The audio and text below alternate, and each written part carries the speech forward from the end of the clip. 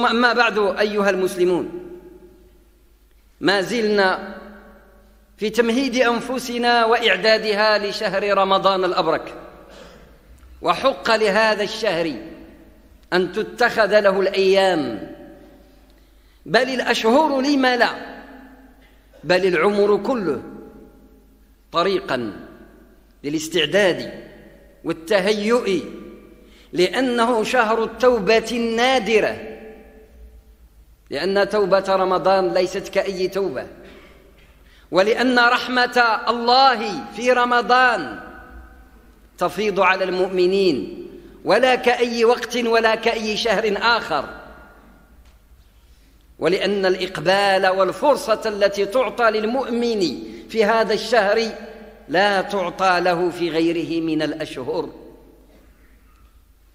لأن ميزان الإبتلاء ميزان الابتلاء في رمضان يكون لصالح المؤمن. الله جل وعلا جعل كوامن الخير وكوامن الشر معا في الإنسان متوازيين. ونفس وما سواها فألهمها فجورها وتقواها. وجعل له الملائكة تأمره بالخير وتلهمه الخير وترشده. وجعل, وجعل له الشياطين تستفزه وتناديه إلى الشر وإلى البلايا. في رمضان هذا الميزان لا يكون على هذا الوزان لأن الله جل وعلا يضعف يضعف من جانب الشيطان. كما رأينا في الحديث الذي ذكرناه قبل وصفدت الشياطين أو سلسلت. فإذ تسلسل وتصفد الشياطين في رمضان فإن الإقبال على الشر يضعف. ولا يبقى آنئذ إلا وازع الشر الشر في النفس. وتضعف وسوسة الشيطان. فآنئذ الخير غالب في الكون كله. الملائكة تتنزل والخير ينفتح تنفتح السماوات أبواب السماء كما في الصحيح. تنفتح أبواب الجنة تغلق أبواب الجحيم. فلذلك الفرصة فعلا تكون أعظم وأوسع للمسلمين في هذا الشهر. وهذا أمر مشاهد محسوس. شيء كنشوفوه كل عام. فكثير من الضالين والتائهين يتوبون في هذا الشهر الكريم. نعم. بعضهم يعود أدراجه القهقراء بعد خروج رمضان. ولكن كثير منهم كيبقاو شادين. عدد كبير من الناس. تكون له فرصة رمضان فرصة للتوبة النصوح واخا كيخرج من رمضان ما كيعاودش يخرج هو من الدين ومن التدين وإن كان كثير فعلا يضعف ويلين بعد رمضان لأنه كيرجع ميزان الابتلاء للأصل ديالو. لهذا إذن يستحق فعلا منا هذا الشهر أن نستعد له قبل حلوله. أما إذا حل فما بقي آنئذ لنفس لم تستعد ولم تتهيأ إلا قليل قليل من الفرص. أن الكلام على رمضان خصو يكون الآن في شعبان وليس في رمضان لأن رمضان وقت ديال الخدمة. فمن لم يتهيأ بأدوات العمل حتى فاجأه رمضان فإنه لا يستطيع الإقلاع كما ينبغي ولا يستطيع أن يكون فعلا على الوزان المطلوب منه شرعا. وما يستحق من وما يستحقه منه هذا الشهر الكريم المبارك. رمضان للتوبة بكل معانيها. التوبة من الضعف واللين في الدين. نهيئ أنفسنا لذلك. أصحاب المساجد أصحاب العبادات والصلوات نحتاج إلى تصحيح أعمالنا. وإعادة ترتيبها من جديد في هذا الشهر المبارك. لأنه نضعف عن إتيان المساجد والصلوات والخمس بالجماعات وغير ذلك نضعف كثيرا كالضعف الهمة فرمضان فرصة نادرة لإعادة ترتيب حياة العبد حياة التعبدية للعبد من جديد. وأيضا فرصة لمن ابتلي بأنواع البلايا من فسق أو فجور أو أي نقيصة أو مثلبة أخرى من أفعال الشيطان. رمضان مناسبة للانقطاع عن ملذات الشهوات المحرمة ومقاطعة إبليس واتخاذه عدوا ومصالحة الرحمن جل وعلا. ورمضان في سنوات الأمة هذه الأخيرة فرصة أندر وفرصة نادرة في الحياة ولكن الآن كتزاد القيمة أكثر. لأن وسائل التضليل في العالم مما تبثه كل الوسائل. أخطر.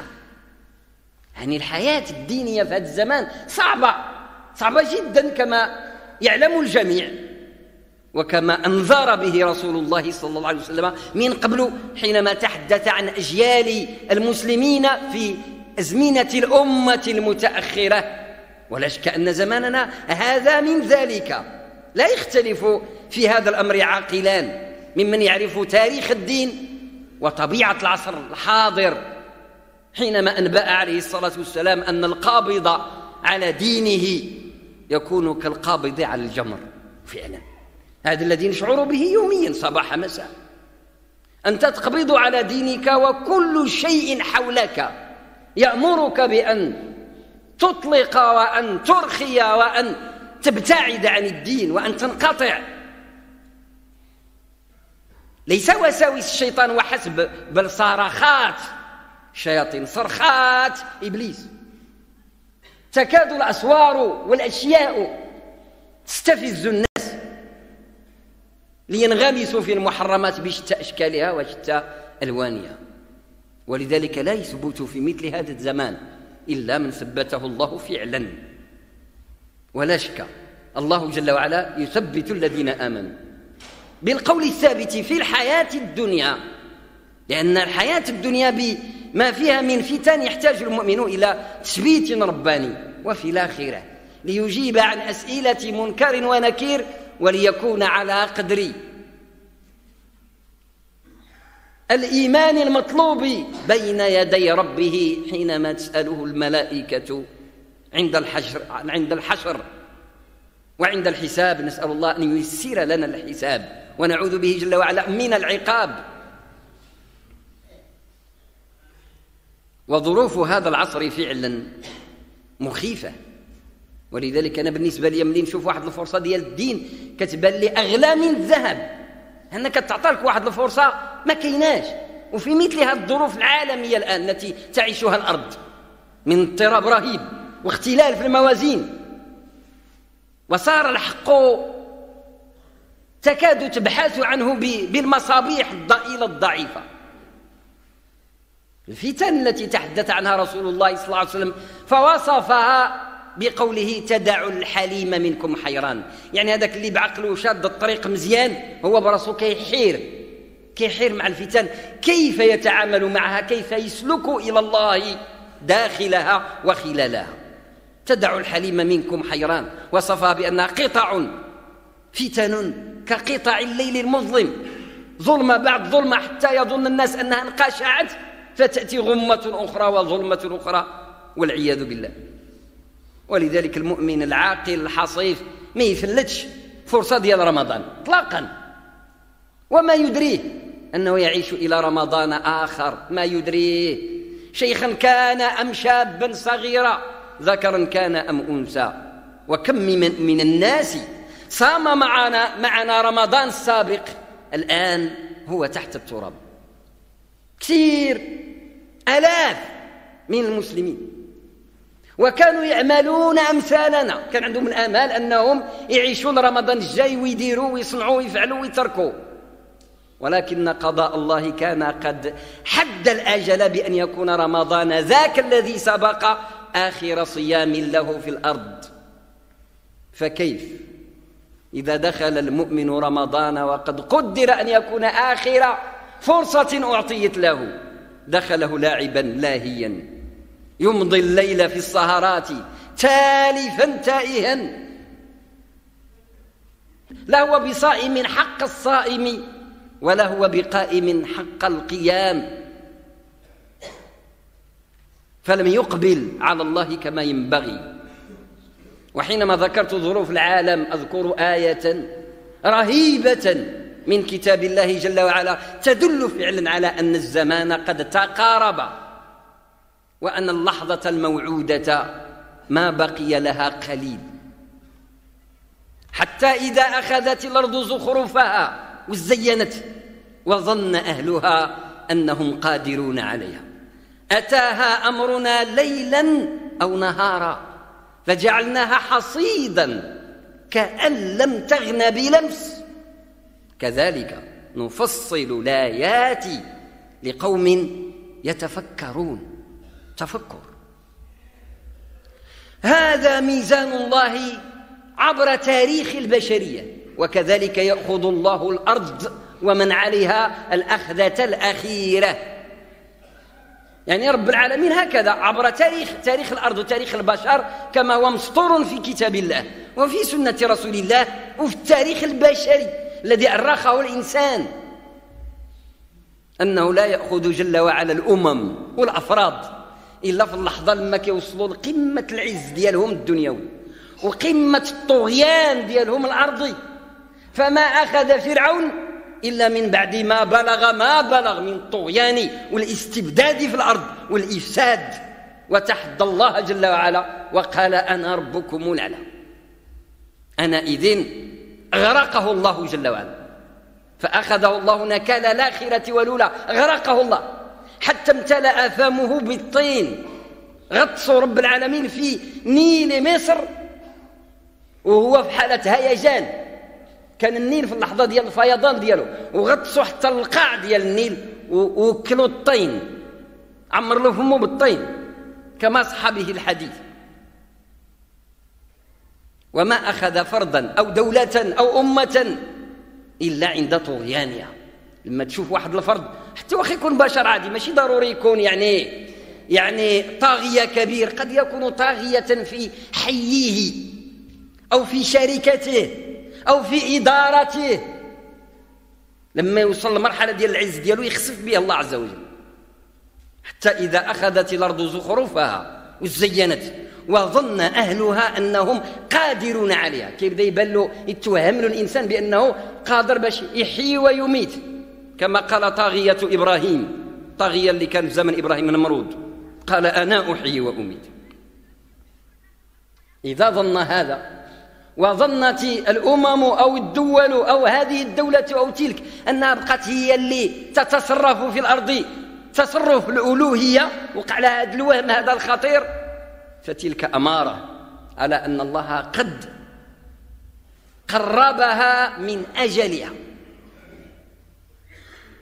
وزماننا هذا قد أخذت الأرض فعلا فيه زخرفها. يعني المدن الكبرى في العالم. مدن مزخرفة بأنوارها بشوارعها. يعني صنعوا جنانا وهمية فوق الأرض. ولا يبني أحد بناء ولو كان من الفقراء إلا بزخرفة. حتى إذا أخذت الأرض زخرفها يعني النقش وأنواع التفنن في البناء والأشكال والقصور الفارهات. وأنواع السيارات والطيارات وما شئت. من هذه الأمور من الزخرف. وزينت تتزين الأرض. ويقع الوهم بعد هذا التزيين ومن بعد هذا التطور التكنولوجي والإلكتروني الثورات العلمية المتلاحقة كتعطي واحد الوهم للإنسان وظن أهلها أنهم قادرون عليها. يبدأ بنادم يبدأ يتوهم راه كيتصرف في الخلق. ها هو يدير الاستنساخ يبدأ يحاول يصنع بنادم كما يصنع الآلة. ويطور في الزراعة بشكل غريب. وفي الفلاحة يخرج أشياء ما كانت. يطلع فواكه ما كانت من قبل في الأرض. وأشكال من من سائر الأمور التي صار الإنسان الآن بين قوسين يتحكم فيها. من أمور البيولوجية وما يتعلق بأمور الحياة بصفة عامة. وأيضا الجانب العسكري والتقني. وظن أهلها أنهم قادرون عليها. كيبدا بنادم يتوهم له راه قادر يوقف يوقف يوقف الدوران ديال الكرة الأرضية وقادر يسيروا حينما يريد وكيف يشاء. يحيي هذه الدولة ويموت هذه الدولة. ويعاون هذا الشعب ويهزم هذا الشعب. ويفرق هذه الدولة ويركب هذه الدولة. ويعتقل ذلك الشخص هنالك في قاع الأرض ويترك آخر إلى سبيله. قال أنا أحيي وأميت. هكذا قال نمرود قبله. حتى إذا أخذت الأرض زخرفها وزينت وظن أهلها أنهم قادرون عليها. هذه راه الألوهية. وظن أهلها أنهم قادرون عليها. وصلوا الحالة ديال ادعاء الألوهية. وكاين الآن الغرب الآن في فلسفته الحديثة اللي متبع هذا الأمر أعلن موت الإنس أعلن موت الإله. سبحانه وتعالى عن ذلك علوا كبيرا. ونصب نصب الإنسان إلها في الأرض. وظن أهلها أنهم قادرون عليها. الفكر الفكر ديال ديال ديال ديال العالم الآن راه كدير فلسفته الاقتصادية والسياسية والعسكرية أعلنت عن موت الإله سبحانه وتعالى عن ذلك علوا كبيرا ونصبت الإنسان إلها في الأرض. وظن أهلها ظن. وظن أهلها أنهم قادرون عليها. هنا أتاها أمرنا ليلا أو نهارا فجعلناها لأن مول الشيء سبحانه مول الملك ما زال لم يزل ولن يزال مستوي على عرشه. يدبر أمر مملكته. وينظر سبحانه وتعالى من علو إلى ما يصنع عباده في الأرض من فساد وطغيان. حتى إذا تعدى الإنسان على سلطان الله أخذه. جعلناها حصيدا. كأن لم تغنى بلمس. حصيدة. حصيد هي الحصيدة كما نعبر بعاميتنا. كما الفلاح يحصد الأرض. حصيدة واحدة ويرمي عليها العافية.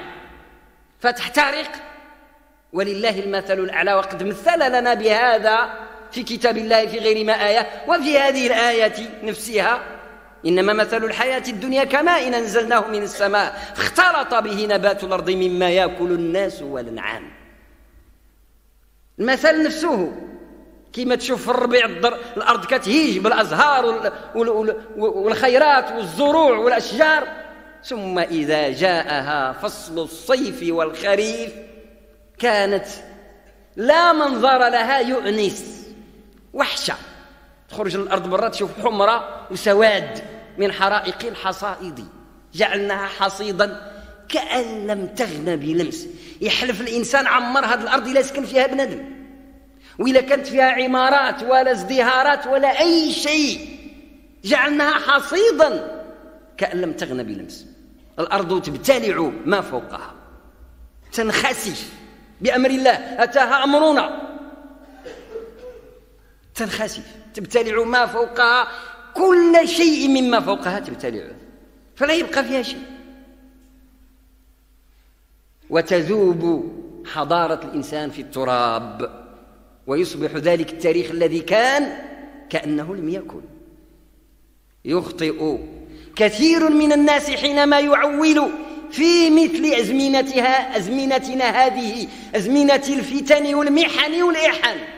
يعول على الأمل الكاذب إلى رمضان مقبل إلى عمرة مقبلة إلى حجة مقبلة إلى إلى إلى موت قريب. إلى أين؟ مادة العمل في رمضان. يعني الشغل ديال الخدمة. أو الخدمة ديال رمضان. مادة العمل في رمضان بنص القرآن. هي القرآن. كثير الخيرات. الخيرات اللي يدير الإنسان في رمضان كثير. من الصدقات. وقد كان فعل رسول الله عليه الصلاه والسلام أجود الناس. وكان أجود ما يكون في رمضان. الانسان يكثر من الصدقة يكثر من جميع أنواع الخيرات. لكن الراس تاج تاج ديال الأعمال الصالحة تاج العمل الصالح. في رمضان القرآن الكريم. قياما يعني ملي تقوم الليل راه القرآن اللي خدام قياما وتلاوة وتدارسا وتدبرا. كل ما نص عليه الله جل وعلا من مداخل القرآن في القرآن. الأبواب ديال القرآن راه سيدنا محمد صلى الله عليه وسلم خدم بها وبينها الله تعالى في كتابه. هو الذي بعث في الأميين رسولا منهم يتلو عليهم آياته ويزكيهم ويعلمهم الكتاب والحكمة. وإن كانوا من قبل لفي ضلال مبين. هذه الآية هذه اللي كتكلم على وظائف النبوة. يعني الخدمة ديال الرسل وديال سيدنا محمد عليه الصلاة والسلام بشكل خاص. كلها الخدمة دايرة على القرآن الكريم. منه المنطلق وإليه الموئل والمرجع. ولذلك لما رب العالمين عرف رمضان بغى يقول لنا رمضان شكون هو؟ قال لنا رمضان هو هذاك الشهر اللي جاء فيه القرآن. عرفه بأبرز صفة فيه شهر رمضان الذي أنزل فيه القرآن هدى للناس وبينات من الهدى والفرقان. يعني أي واحد فينا ولله المثل الأعلى ولا مشحة في المثال يعني كتكون عنده صفات متعددة. الصفة ديال المهنة ديالو قد يكون آه، حرفيا صباغا أو حدادا أو طبيبا أو مهندسا أو أستاذا. عنده الصفة ديال المهنة. وعنده الاسم ديالو الشخصي والعائلي ديال القبيلة ديالو. وعنده آه، النسبة ديال المدينة ديالو. يكون مكناسيا أو طنجيا أو إلى آخره. يعني منسوب المدينة تنسبوا للوطن ديالو تنسبوا للدين ديالو. فإذا أردت أن تعرفه حق التعريف. فيمكن لك تعرفه بأي وحدة من هذه الصفات ديالو. ولكن عادة الإنسان على حسب الظروف كتعرفوا بأحب الصفات إليه. بأحب الصفات إليه. يعني ديك الصفة اللي أنت كتعرفها فيه راها كي يعجبها وكي كتعجبو وكيرتاح ليها وإلا عرفتو بها كيتميز فعلا كيتميز وكيبان بأنه متميز عن الآخرين فتعرفه بها. كتقول هذا فلان مثلا الطبيب مثلا على سبيل المثال. ويمكن لك تعرفه بصفة أخرى من الصفات. أو بواحد الاختصاص دقيق ديالو. ولله المثل الأعلى رب العالمين عرف شهر رمضان بأبرز ما فيه وهو أنه كان مناسبة لنزول الوحي من السماء عبر تاريخ الدين كما أثبتناه قبله في حديث حسن عن النبي عليه الصلاة والسلام أن رمضان فيه تنزلت الكتب كلها. التوراة والإنجيل وقبل ذلك الزبور وبعد ذلك جميعا القرآن وقبلهم جميعا صحف إبراهيم. ما أنزل الله كتابا إلا كان متنزله شهر رمضان. إما في البداية ديالو أو الوسط ديالو أو الآخر ديالو. وقد علم أن كتاب الله جل وعلا القرآن الكريم نزل في العشر الأواخر. من رمضان من ليلة القدر. شهر رمضان الذي أنزل فيه القرآن. ولهذا سيدنا محمد عليه الصلاة والسلام كان ينقطع إلى القرآن. يعني كيتخصص في رمضان بالخدمة ديال القرآن. ولذلك الكرم ديالو اللي كان فيه طبيعة كيزيد في رمضان علاش؟ فرحا بالقرآن. حينما يلقاه جبريل كل ليلة من رمضان فيدارسه القرآن. هذه السنة ديال سيدنا محمد فعلا. عليه الصلاة والسلام. الذي أراد أن يكون على منهج السنة في رمضان فعليه أن يتدارس القرآن. يشتغل بمدارسة القرآن.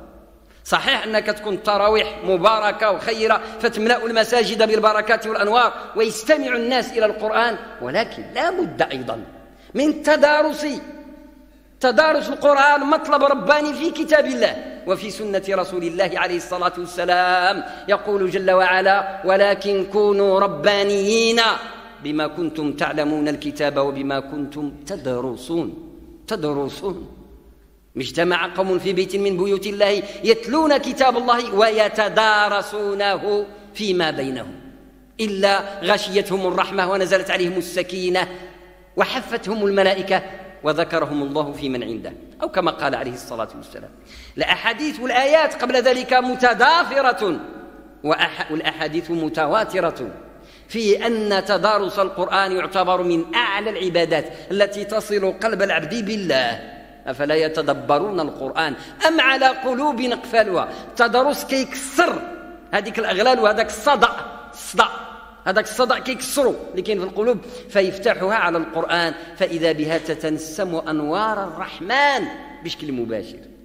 ولذلك وجب أن نجتمع على كتاب الله جماعات وزرافات في بيوتنا وفي أسرنا سيرا إلى الله جل وعلا من خلال تدارس القرآن الكريم.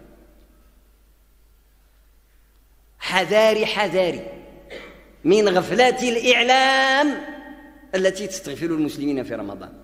الناس مع الأسف يبتلعهم التلفزيون في ليالي رمضان وهذه كارثة.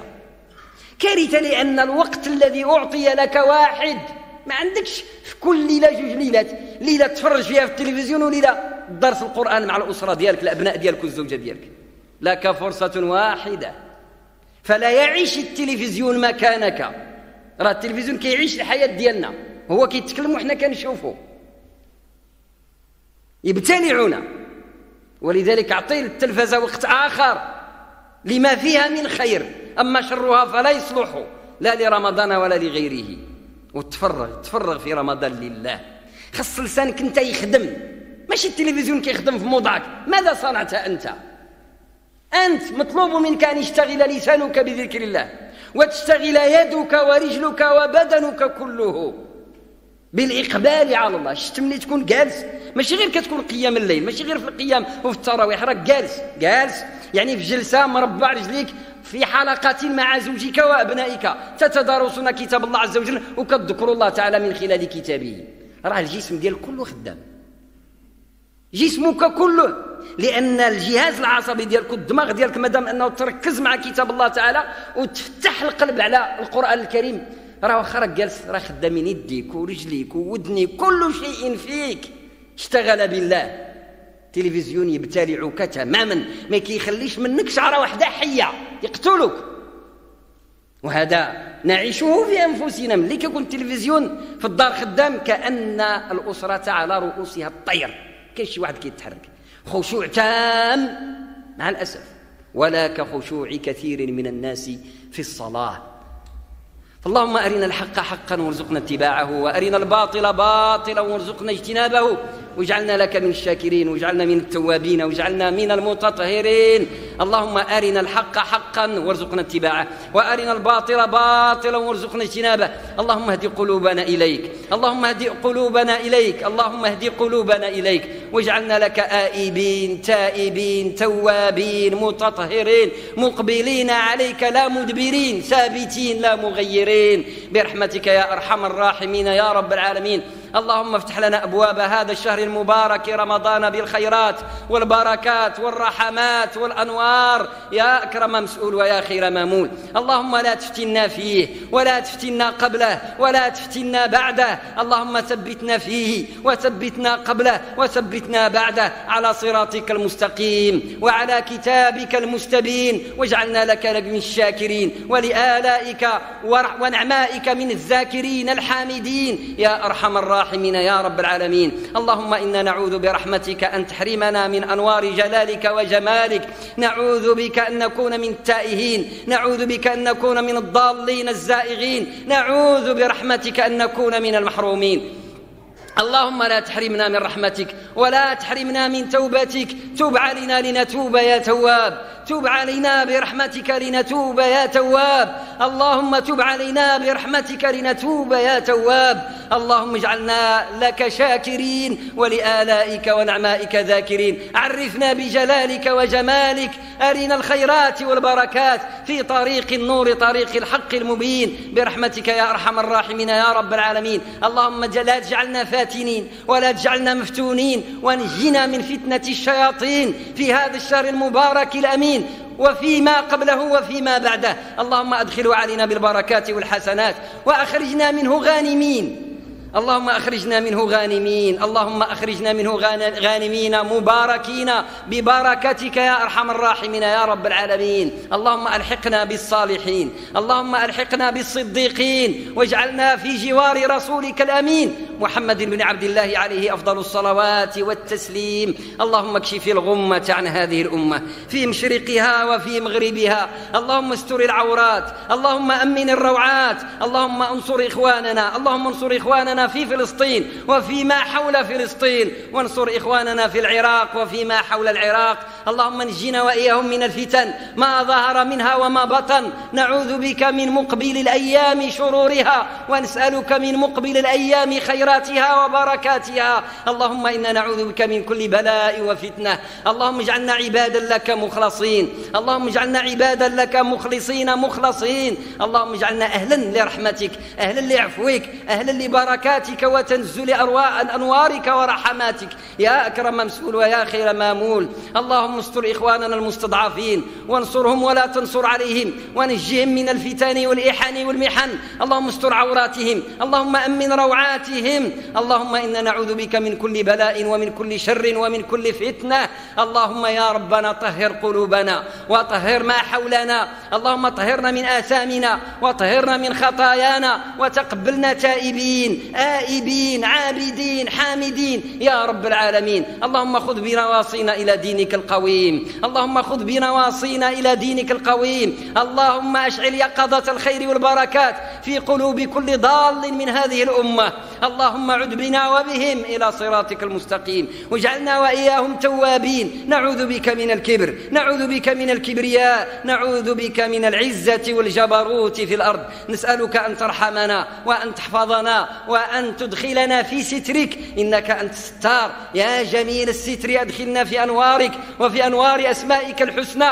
نسألك بكل جمالها وجلالها ونسألك باسمك الأعظم وبكل اسم هو لك. سميت به نفسك علمته أحدا من خلقك أنزلته في كتابك أو استأثرت به في علم الغيب عندك. نسألك أن تجعل هذا القرآن العظيم الكريم المجيد ربيع قلوبنا وجلاء غمنا وهمنا ونور أبصارنا وبصائرنا. اللهم اجعلنا إليه وعليه مقبلين. ونعوذ بك أن نكون له هاجرين. ونعوذ بك أن نكون له هاجرين. ثبتنا بآياته واهدنا ببركاته. واجعلنا لك عبادا مخلصين. واجعلنا لك عبادا تائبين. اللهم أنزل علينا النعمة ولا تحرمنا الرحمة وأدخلنا مع أهل الحكمة واجعلنا لك من عبادك الذين شكروا وعبدوا. يا أرحم الراحمين يا رب العالمين. اللهم يا ربنا كل من أغمه غم أو أهمه هم أو أكربته كربة ففرج غمه وفرج كربته وفرج يا رب عنه الظلمات.